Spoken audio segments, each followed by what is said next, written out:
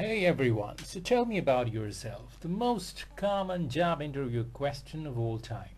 Usually, the thing is that they ask you first as an icebreaker when you first sit down at your job interview. Now, there are a million ways to answer this open ended question, and there's also about a million YouTube videos out there giving you various ways to answer it. Today, I'm going to give you the quickest simplest and the best way I've seen to answer this question.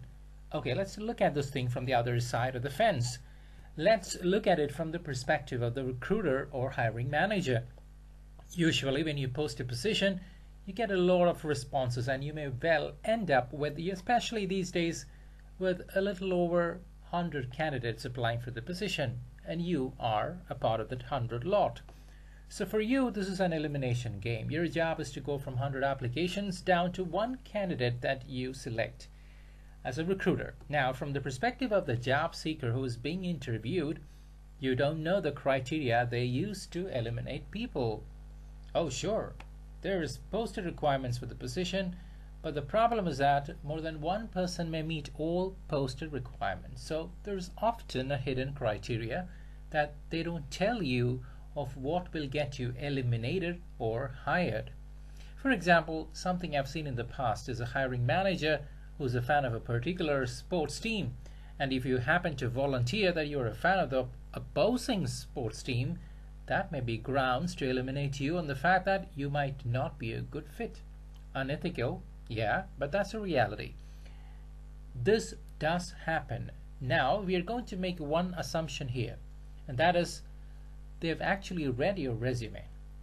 If you apply for a position and you've sent in your resume and then they later receive it and call you for an interview, that means they have gone through your resume. But not always. I have seen cases where this has not actually occurred, but in the vast majority of cases, we can assume this to be true. So, what does this mean? This means that the content on your resume is safe everything you've written on there did not result in you getting eliminated. So it's safe, your content is good, and we are going to be coming back to that. Now, when you get asked, tell me about yourself in a job interview, this is what you do. Start off by saying, well, as you can see from my resume, that's the first thing you say. Then go down your resume in a chronological order starting with the oldest material and then getting closer to the present, finally talking about your most recent experience. This should take roughly about 45 seconds, not more than a minute. Then end with a phrase that this is what brings me here today and why I'm excited to learn more about this opportunity. You see, your purpose in a job interview is to communicate to the person interviewing you how you are the right person for the job, meeting all the requisite skill requirements. They call it competency. And that's your purpose in the interview. You don't want to waste your time talking about something you did 15 years ago that has absolutely nothing to do with this position and is just taking up time. That's why you want to summarize your resume in less than a minute, and that would work.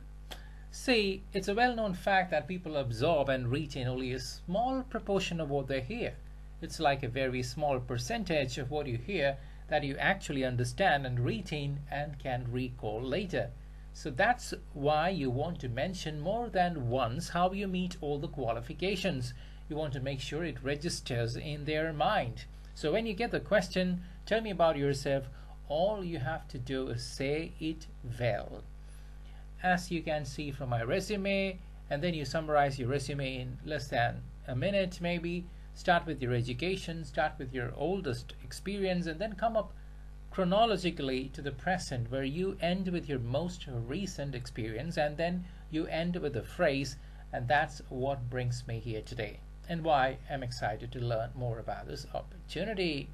So if you want to spend as much time as possible talking about this opportunity, not stuff you've done in the past, that's why it's very important to try and steer the conversation from something you've done years ago to get them to talk about this position so you can explain how you meet the requirements.